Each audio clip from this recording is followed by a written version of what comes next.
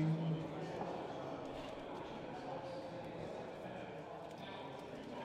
Uh, ladies and gentlemen, uh, congratulations to Tom Richards, who beat uh, Raphael Kandra by three games to one.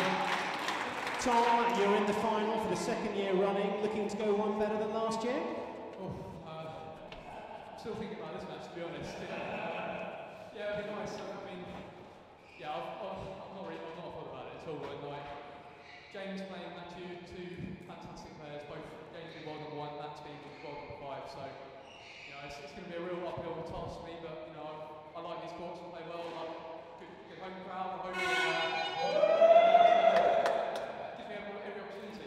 So yeah. And uh, Raphael, very, very strong competitor. Of course, he knocked out the number one seed and was a real handful this evening. Yeah, I mean, he's, he's a really, really strong player.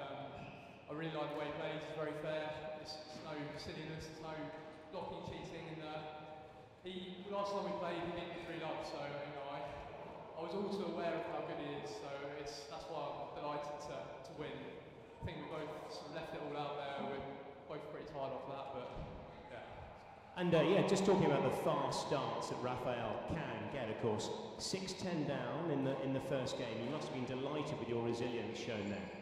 Yeah, you know, throughout my career I've always been quite good. Um, I've always come back quite well. I think I relax a bit, I, I think I start a little bit too defensively, and then when I go down, I think, oh, I might as go for it. And then it's, that's, that's the way I play well. And, you know, even 10 6 down, I, I kind of, I still believe I can win each rally. And, and once you get to sort of 8 10, you know, it's, it's kind of, it's in their head a little bit as well. So, yeah, I mean, it's delighted to win that, but then I lost a good lead in the second game, so it sort of evened itself out a little bit. And uh, Tom, just looking ahead finally for tomorrow, any cares with who you face up? I just hope they have a three-hour absolute. uh, yeah, no, I don't. I don't. I mean, me and Matt have played since we were about 10 years old, so we know each other really well. Um, and then James is a legend of the game. I've got, you know, he's probably one of the, the guys I respect the most on tour. So either way, it's it's going to be extremely, extremely tough. But you know, oh yeah, I don't mind. Fantastic. Tom, thank you very much. Congratulations, and we'll see you in the final tomorrow night.